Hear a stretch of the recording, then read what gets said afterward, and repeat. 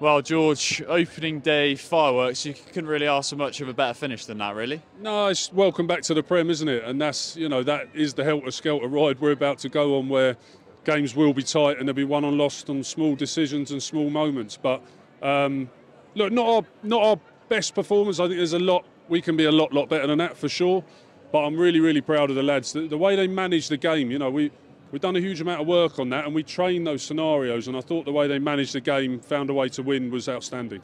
I guess the frustration maybe in the first half perhaps when we did manage to get over the line, we, we gave up those points quite quickly.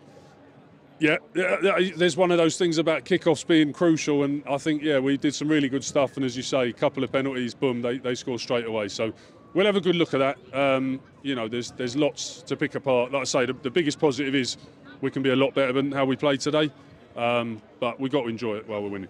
And the boys look like they enjoyed it out there as well, especially in the attacking shape. That's the work of obviously James Lightfoot Brown joining and, and, developing our game as well. Yeah, I think Lights' systems are starting to come through now. I think um, you know there's there's still like I say there's still lots of work to be done. There's there's opportunities we, we're not quite taking, but that's the nature of the beast. We're taking more than we did last year already. There's a lot of young guys out there today. There's Premiership debuts. Um, you know, there's boys starting for the first time in 18 months in the Premiership there was a lot of youth out there today, and I'm, I'm really proud of them. I think they've uh, they've earned the right to start, and, and they delivered.